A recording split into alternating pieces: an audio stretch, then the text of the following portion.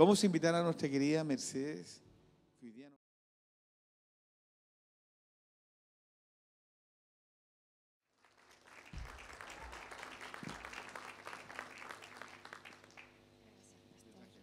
Muchas gracias. Gracias.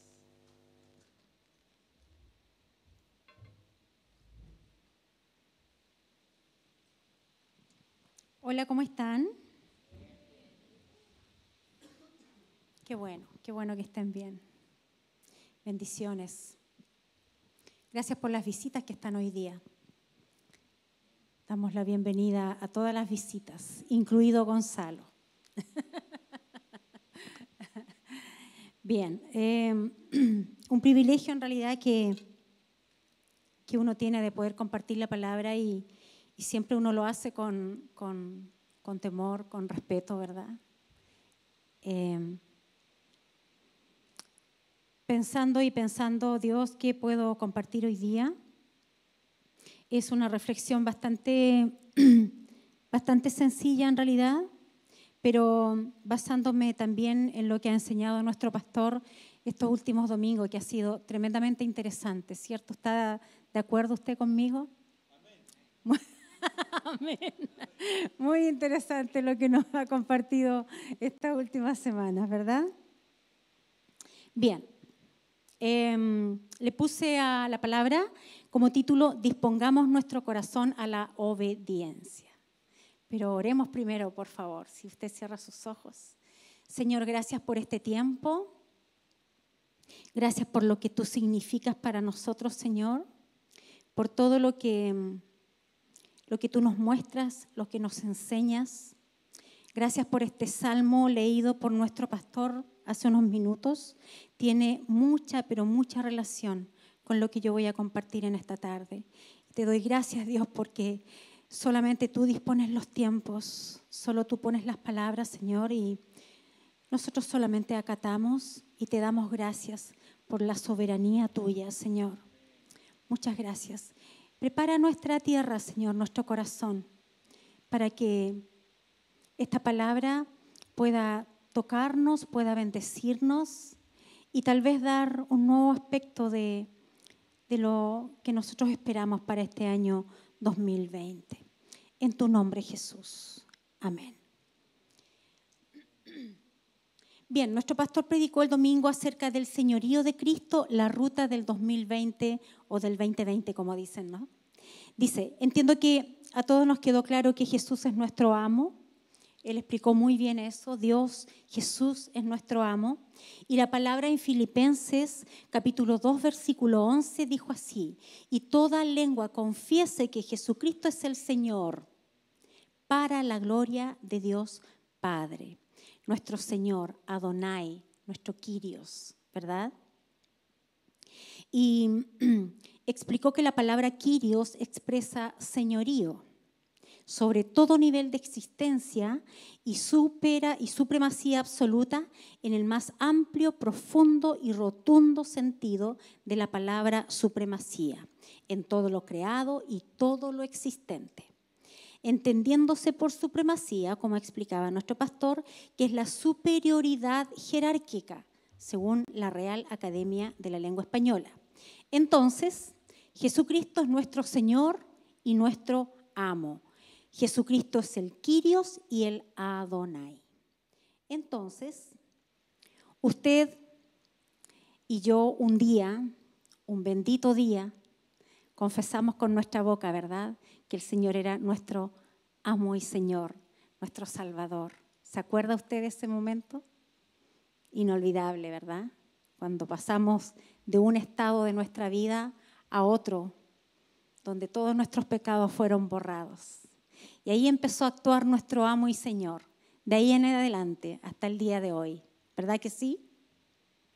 Ahora, la pregunta es, si, Jesucristo es nuestro dueño, nuestro amo y nuestro Señor, ¿le obedecemos?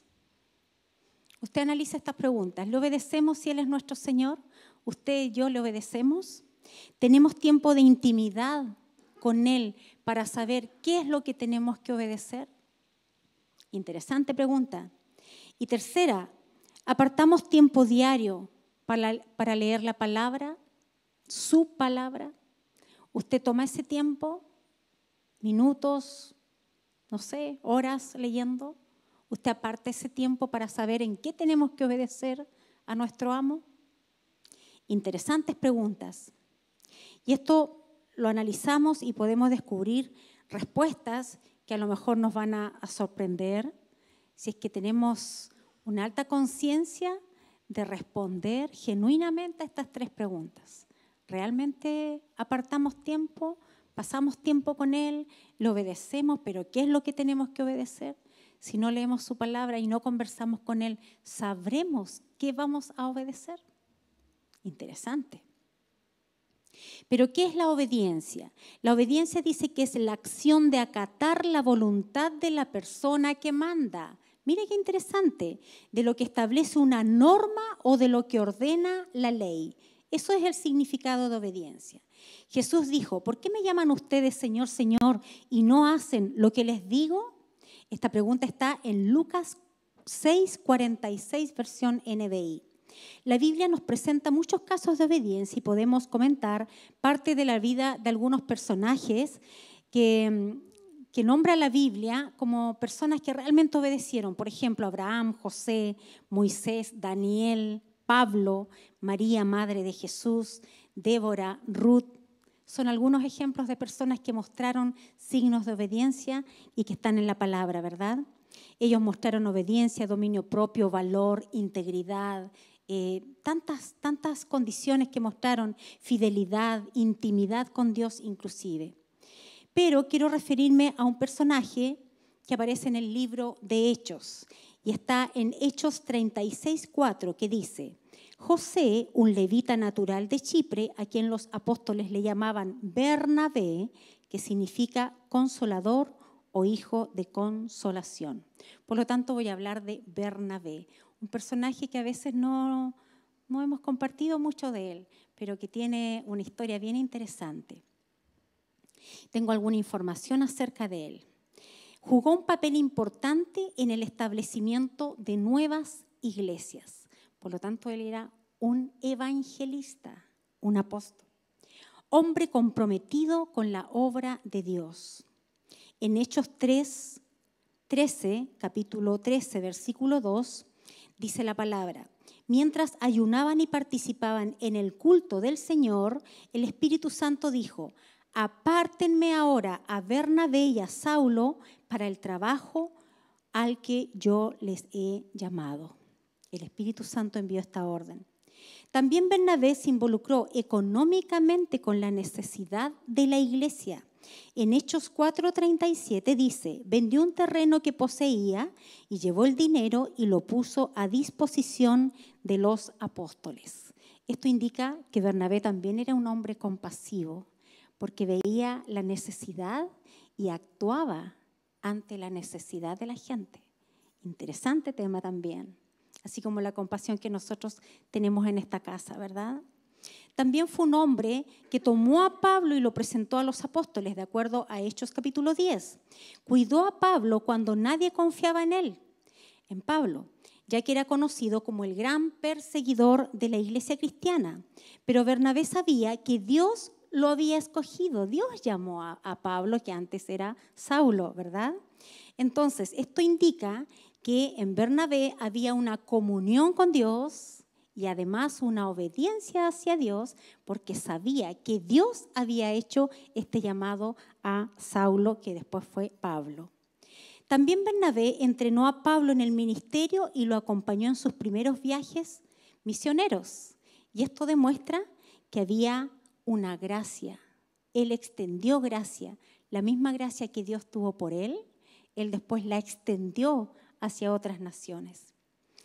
También predica en Antioquía y dice la palabra textual así, animando a todos a hacerse el firme propósito. Miren, firme propósito de permanecer fieles al Señor, pues era un hombre bueno, lleno del Espíritu Santo y de fe. Un gran número de personas aceptó al Señor. Si usted busca en casa, Hechos capítulo 11 habla de esta parte tan interesante acerca de Bernabé. En resumen, ¿qué elementos vemos en este varón obediente? Primero, el amor. Era evangelista y compartía el amor de Dios. Ese mismo amor del cual él recibió un día cuando aceptó a Jesús como Señor y Salvador, ahora él se dedica a extender ese amor a través de su evangelismo, plantando iglesias junto con otros a través de muchos, muchos, muchos lugares. Por lo tanto, el amor importante. Segundo, tenía un compromiso. Dice la palabra, ayunaba y participaba en las reuniones en la iglesia. ¿Cómo estamos nosotros con nuestro ayuno? ¿Cómo estamos con nuestra participación en la iglesia? ¿Bien? Mire, otro punto importante, la compasión por la necesidad de otros a través de sus bienes. Él tenía absolutamente claro el principio del dar, tremendamente claro. Y lo leímos en la palabra, que él vendió un terreno y lo entregó a los apóstoles. ¿Para qué? Para que sea de bendición para la gente que lo necesitaba. ¿Cómo estamos con nuestras ofrendas y diezmos? ¿Estamos siendo obedientes? ¿Estamos siendo compasivos a través de este dar? Tenía también una comunión con Dios, otro punto importante. Era obediente a Dios, extendió gracia y animó a otros a través de su predicación y por lo tanto también era lleno del Espíritu Santo. Interesante la vida de Bernabé. Y también me referiré a un caso de desobediencia, para que es la contraparte. Y fue el caso de Jonás, una historia que yo creo que todos conocemos era un profeta de Dios y había un encargo por parte de Dios. Dios le dice, así textual en la palabra, dice, anda, ve a la gran ciudad de Nínive y proclama contra ella que su maldad ha llegado hasta mi presencia. Había pecado importante en esta gran ciudad, ¿verdad? Así como sucede hoy en día en nuestras ciudades, en nuestras capitales. Tanto problema que tenemos de pecado. La gente está buscando todos los caminos que les presenta la vida, pero no busca el camino correcto. Cuando Jesús dijo, yo soy el camino, la gente busca otros caminos, no el camino que es el único camino, que es Jesucristo. Jonás se fue, pero en dirección a Tarsis. A él lo mandaron a Nínive, pero él tomó otra dirección. Se fue a Tarsis. ¿Para qué? Para huir del Señor. Seguro que no se atrevió y buscó una solución, escapar y se le dio esta oportunidad de irse a otro lugar. Esto indica que siempre el camino fácil no es el camino recto. Un tremendo principio. Pero el Señor, que todo lo sabe y que todo lo ve, lanzó sobre el mar un fuerte viento y se desencadenó una tormenta tan violenta que el barco amenazaba con hacerse pedazos. Esto está en el versículo 4 de Jonás, del capítulo 1. Esta historia también habla de dioses con minúscula. Dice en Jonás 1.5, los marineros clamaron cada uno a su Dios. Cuando se desata esta tormenta tremenda, cuando iba Jonás arriba del barco, ¿verdad? Y se desata esta tormenta, todos los marineros que iban en el barco empezaron a clamar a sus dioses. Y la Biblia lo refleja súper bien. Dioses pero con minúscula. Significa que todos creían en alguien, X, quizás, no sé, hasta en un gato, no lo sé pero todos tenían un Dios chiquitito, que no era el Dios verdadero en el que nosotros confiamos.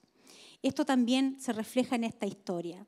La cantidad de dioses, así como hoy en día, así como tantos caminos, muchos dioses hoy en día buscan la gente en diferentes cosas, diferentes eh, situaciones, diferentes caminos, diferentes personas, eh, tantas, no sé, símbolos que, buscan, que creen que ahí está la solución.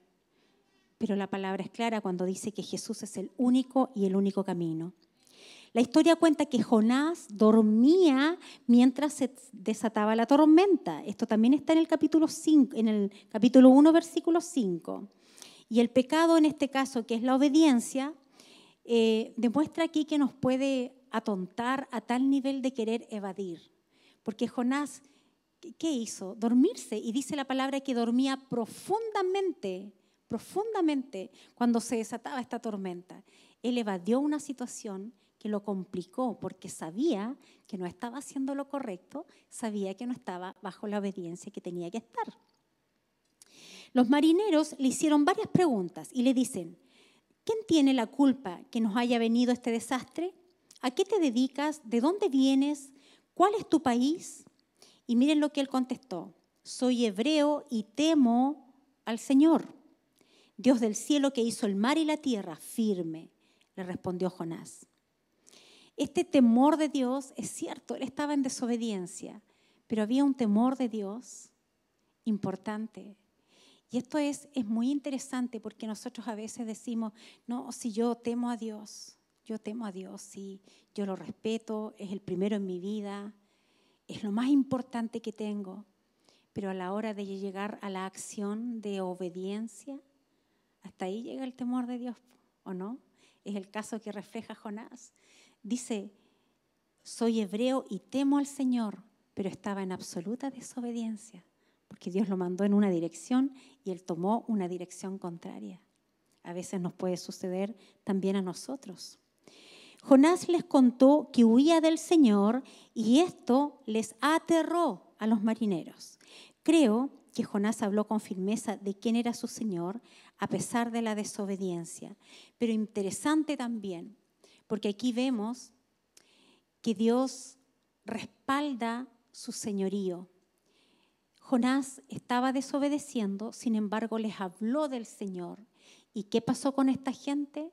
Dice la palabra que tuvo gran, gran temor del Señor. Es porque Dios respalda su soberanía a pesar de nosotros.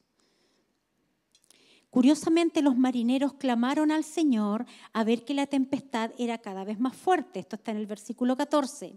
Y dice, oh Señor, tú haces lo que quieres. Aquí se demuestra la soberanía, ¿verdad? No nos hagas perecer por quitarle la vida a este hombre ni nos hagas responsable de la muerte de un inocente.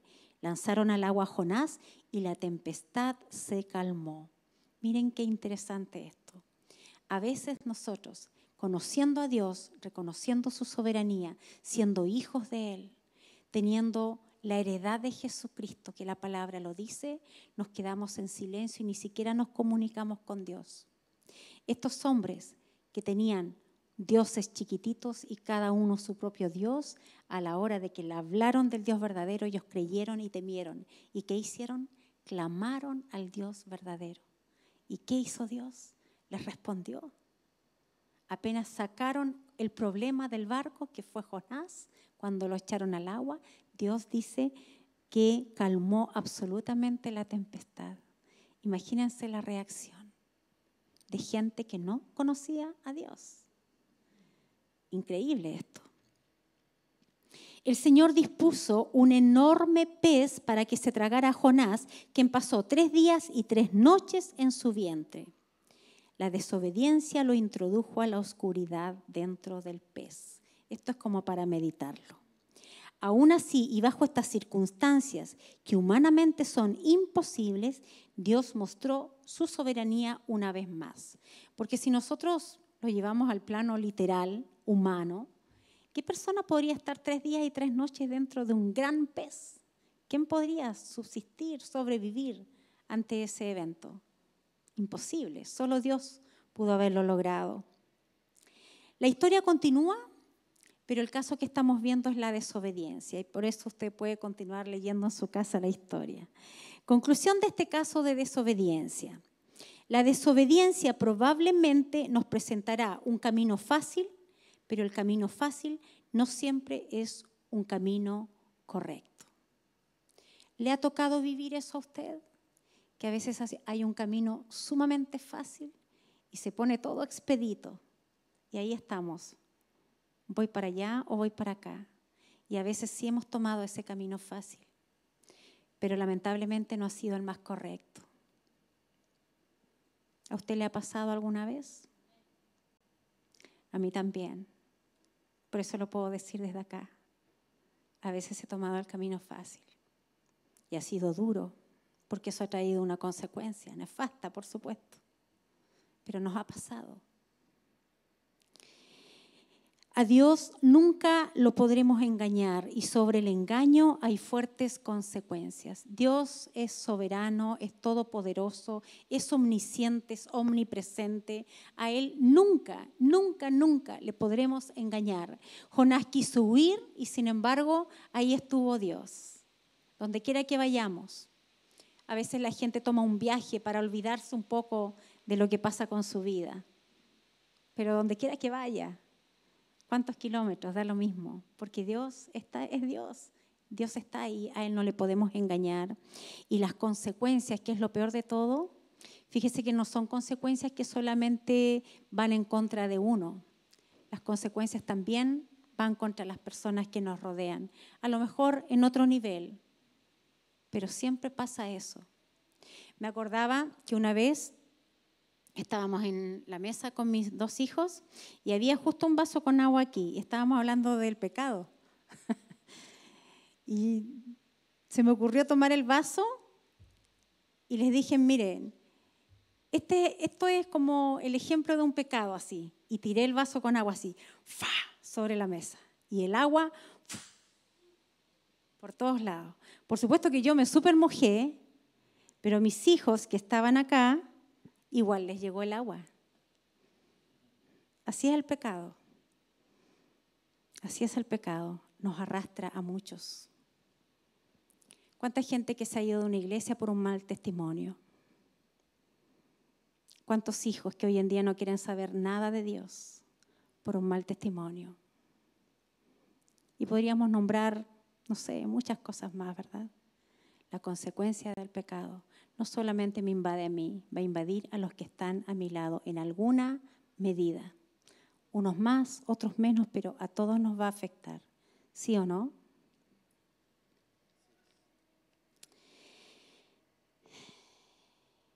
Y también esta historia de Jonás dice que, o nos enseña que la desobediencia nos llevará a la oscuridad. Jesús dijo que era la luz y si nosotros no caminamos con Jesús, ¿podremos ver la luz? Bajo ningún punto de vista. Vamos a estar inmersos en la oscuridad.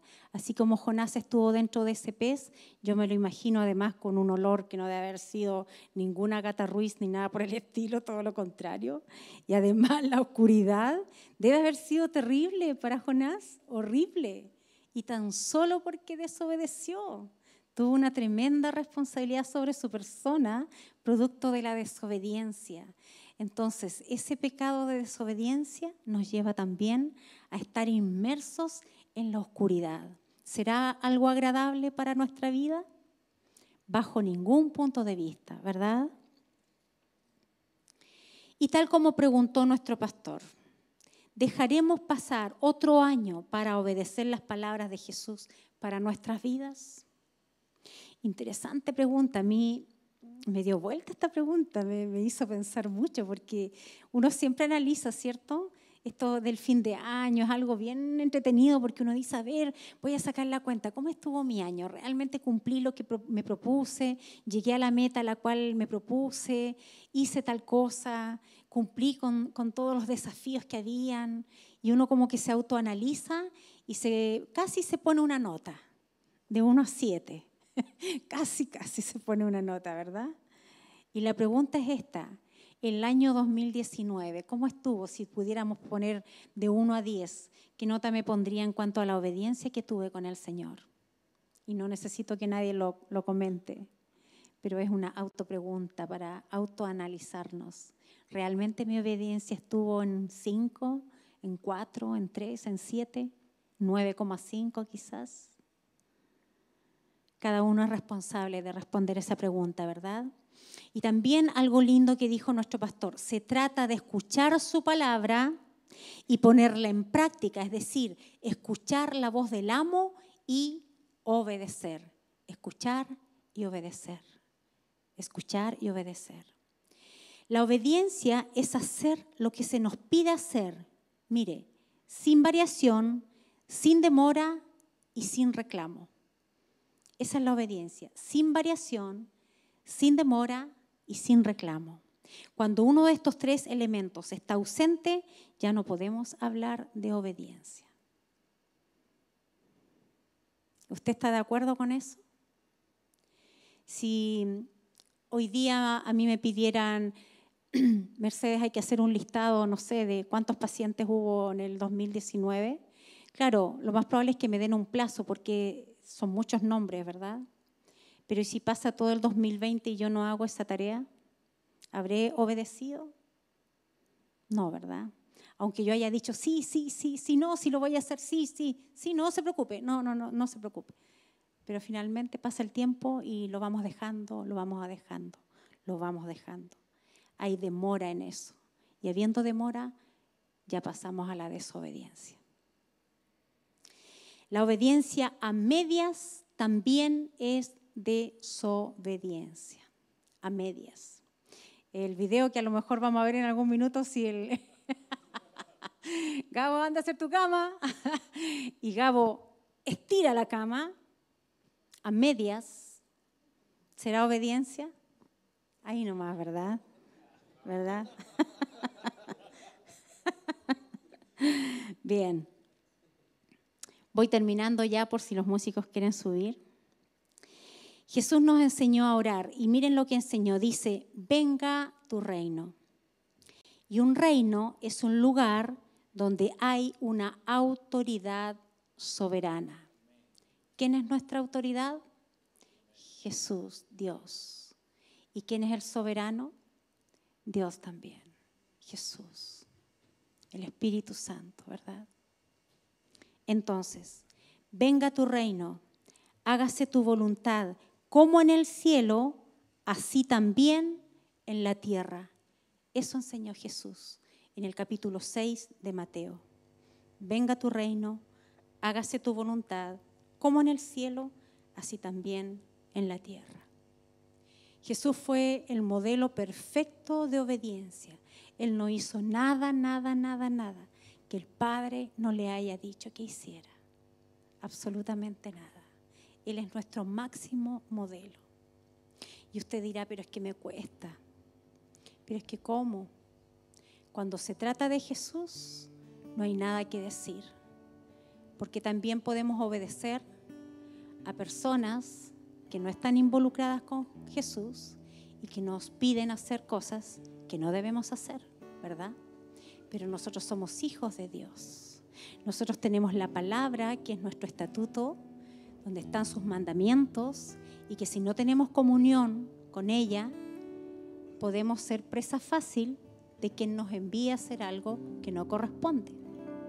Por lo tanto, la relación, la intimidad con Dios, la lectura de la palabra, la oración, eso nos va a llevar a ser obedientes. Y la obediencia trae bendición, dice Deuteronomios. La desobediencia trae maldición, pero la obediencia trae bendición. Bernabé fue un hombre que, que obedeció, un hombre que obedeció en todo. Cuando el Espíritu Santo dijo, envío a Bernabé y a Saulo para ta, ta, ta, ta, ta él obedeció, él lo hizo. Él no, no, no dijo nada, nada en contra. Él, él en ningún minuto dijo, pero, pero no, no, sé cómo hacerlo, no tengo conocimiento, a lo mejor no tengo ropa, no sé, no puso ninguna excusa, ninguna. Simplemente obedeció. Nosotros a veces buscamos un listado de excusas es que no tengo el tiempo, es que yo no tengo mucho conocimiento de la Biblia. Y qué mejor conocimiento que lo que usted tuvo el día que recibió a Jesús en su corazón como Señor y Salvador. Eso ya es una pauta suficiente para poder ir predicar. La relación que tenemos hoy día con Dios es suficiente. Es suficiente. Hasta hoy Dios ha sido fiel con usted y con nosotros, lo que cantábamos recién, o usted no está de acuerdo con eso. Ha sido fiel, totalmente fiel. Es cierto que hemos pasado momentos difíciles, pero han sido momentos donde Dios también nos ha enseñado, Él ha estado con nosotros y nos ha dado lecciones de vida importantísimas, totalmente importantes. Él ha sido fiel y va a permanecer fiel siempre experimentemos más profundamente quién es Dios, siendo obedientes a Él en todo, en todo. viene a mi, a mi mente esta palabra que dice, si en lo poco fuiste fiel, en lo mucho te pondré. Si en lo poco fuiste fiel, en lo mucho te pondré.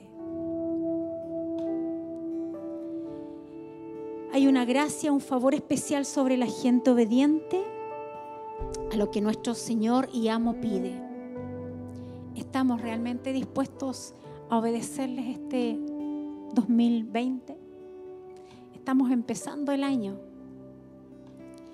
Daniel en un minuto dijo que él propuso en su corazón no contaminarse. Él propuso en su corazón. Por eso es que el nombre que, o el título que le puse a esta pequeña reflexión dice, dispongamos nuestro corazón a la obediencia. Propongamos a nuestro corazón, hagámosle esa propuesta, obedecer, que sea un año de bendición. ¿Por qué? Por nuestra obediencia. ¿A través de qué? A través de nuestra obediencia. ¿Está dispuesto usted a ser obediente? a pasar tiempo con Dios, a tener intimidad con el Señor, que realmente sea nuestro Quirios, que realmente sea nuestro amo, que se cumpla eso cuando dijimos, Señor, te recibo como Señor y Salvador de mi vida. Señor, Señor y Salvador. Señor, que no sea solo el Salvador, que ya nos, nos dio vida eterna, sino que también sea nuestro Señor, nuestro amo. ¿Y cómo podemos demostrarlo? Con obediencia. Amén. Amén. Cerremos nuestros ojos. Señor, gracias. Gracias por esta reflexión que nos lleva a entender, Señor, todas las bendiciones que hay a través de la obediencia, pero también todo el caos que se puede producir a través de la desobediencia. Líbranos, Señor, líbranos, líbranos de desobedecer, líbranos del mal para que no nos cause aflicción, Señor. Líbranos, Padre, que este año sea un año de victoria, que este año sea un año de bendición, que esta temporada, Señor, podamos también a otros de la gracia que tú nos diste, Señor, poder darle a otros de esa gracia, Padre, ese regalo inmerecido que recibimos un día a través de nuestras acciones, a través de nuestra compasión, a través de nuestros bienes, de nuestras finanzas. Dios, a través de nuestros abrazos, a través de nuestras palabras de ánimo, de nuestras oraciones, Señor.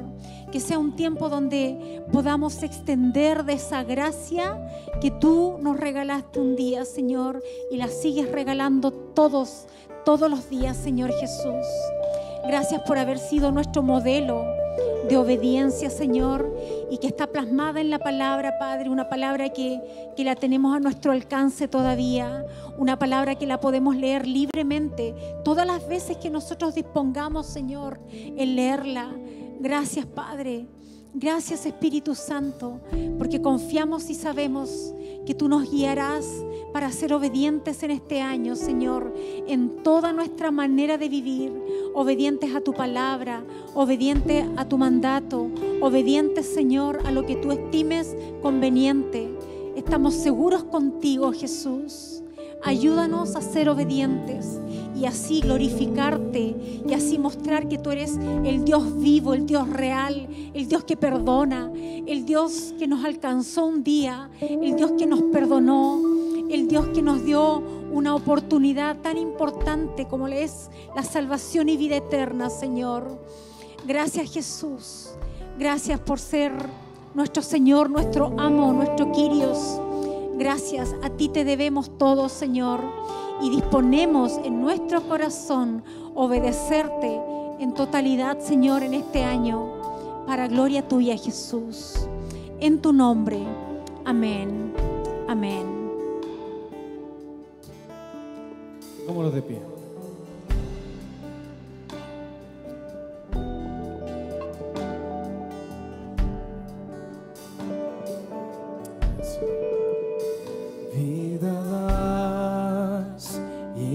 Amor. Brillas en las tinieblas a nacer corazón quebrantado y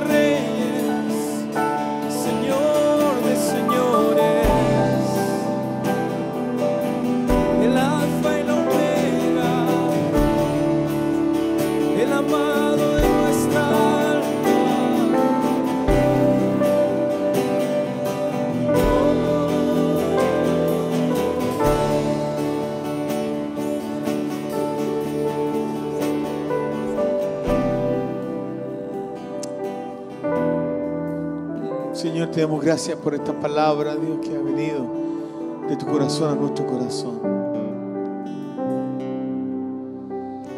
Cuando oramos, cuando oramos esa oración que nos enseñaste sobre el Padre nuestro, y decimos, Padre nuestro, que estás en los cielos, santificado sea tu nombre, venga a nosotros tu reino. Estamos diciendo, Señor, venga tu instrucción, venga tu enseñanza, venga tu precepto, venga tu consejo. Estamos diciendo, Señor, que venga tu voz a nuestro corazón, no para escucharla, sino para obedecerla. Interesante, Señor, lo que dijo Mercedes. Venga a nosotros tu reino. Estamos diciendo, queremos ponernos bajo tu gobierno. Queremos someternos a tu gobierno. Estamos diciendo, venga tu diseño del cielo, venga tu instrucción, venga tu corazón, lo que, lo anhela tu corazón, que venga a nuestra vida. Pero no para dejarla pasar, no para comentarla, no para opinar, no para resistirnos, sino para obedecer. Enséñanos a obedecer por amor. Enséñanos a caminar en esa obediencia donde hay gozo en cada decisión que tomamos, donde hay paz en cada decisión que tomamos, donde hay plena convicción que tú estás con nosotros en cada decisión que tomamos.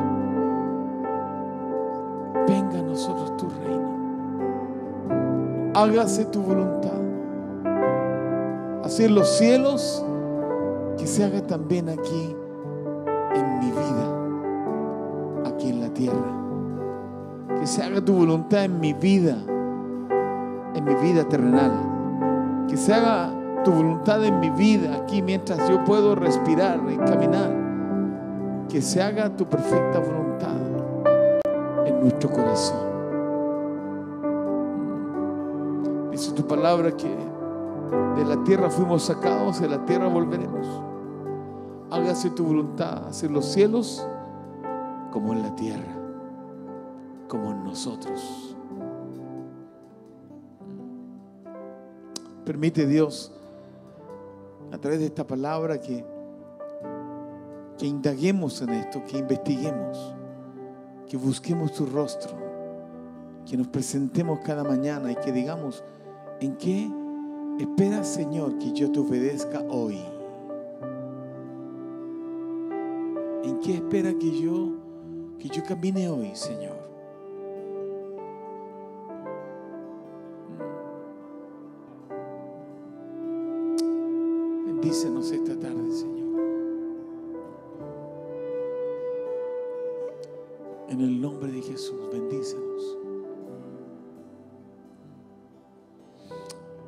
Nuestras vidas de regreso a casa.